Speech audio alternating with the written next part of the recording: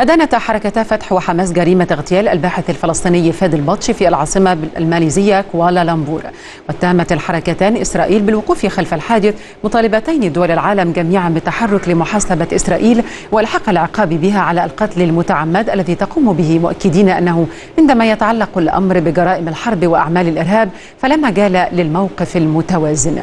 يشار الآن وسائل إعلام ماليزية قد أعلنت في وقت سابق اليوم مقتل الأكاديمي الفلسطيني فادي البطش الحائز على جائزة أفضل باحث عربي في منحة الخزانة الماليزية على يد مهاجمين كان يستقلان درجة نارية واستهدفاه بحوالي عشر طلقات نارية.